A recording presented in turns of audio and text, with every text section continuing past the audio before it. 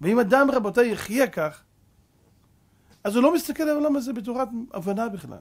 הוא לא מסתכל על העולם הזה כ... אה, הוא עשה ככה, זה... לא, אין קשר. אין קשר. אדם, אה, אוכלים לחם אז נהיים שבעים. לא נכון, מי אמר לך את זה? אה, הולכים לישון אז קמים אה, רגועים. הולכים לישון אז נרדמים. יש כאלה הרבה שהולכים לישון ולא נרדמים. מתנה זה מהקדוש ברוך הוא שהאדם נרדם בלילה.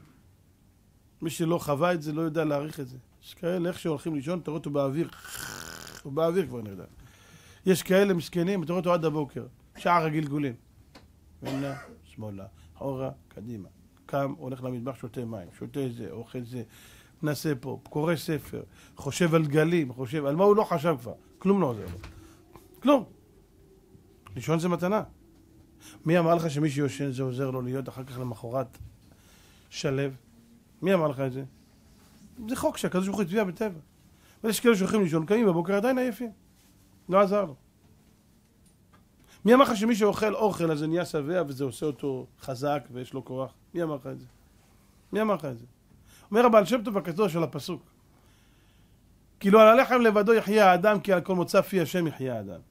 אז שם טוב הקדוש מה הפשט בפסוק הזה? מביא את זה גם בספר התניא, בעל התניא, זכותו יגן עלינו ועל כל ישראל. אז הוא כותב שמה, הוא אומר, דע לך, שבאמת, איך זה יכול להיות? אני אשאל אתכם שאלה. מה אנחנו, גוף או נשמה? גם גוף וגם נשמה. תראה, אנחנו מורכבים שניים. איך זה יכול להיות שאני אוכל, יש לי כוח?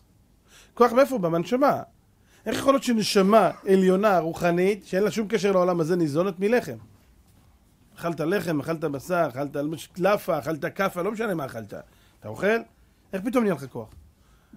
השם יצילנו, תסתכלו איך בן אדם נראה אחרי, אחרי תענית. מה נשמע? אה? מה נשמע? אה? לא יודע, לא יודע, לא פה, לא פה. נראה כמו לולב הגזול והיבש, כמו וו גרירה, אתה רואה אותו. כולו הולך ליפול. מה קרה? לא אכלת עשר שעות, 12 שעות, 14 שעות, מה קרה? תראה איך אנשים נראים במוצאי כיפור, במוצאי תשעה באב, שלא יבוא, בעזרת השם יתהפך ליום טוב. איך בן אדם נראה? מרוסק. בושה. אתה רואה, אני אומר לכם, תמיד אני מתבייש בזה, אתה רואה, אתה אוכל איזה חתיכת עוגה שותה חצי כוס מים? זהו, זה מה שאתה שווה. עוגייה, חצי כוס מים, זה האדם, זה אתה, אתה רואה? אפס מאופס. איך יכול להיות, רבותיי, שזה נותן כוח לנשמה? מישהו יכול להגיד לי? אומר הבעל שם טוב הקדוש, דע לך באמת, לא על הלחם לבדו יחיה האדם, כי על כל מוצא פי השם יחיה האדם.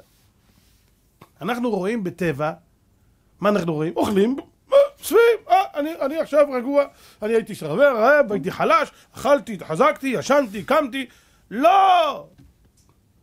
כמדומני שזה הגרון מבין לא אומר, הגרון מבין אומר, למה הקדוש ברוך הוא ברא בעולם שינה בכלל?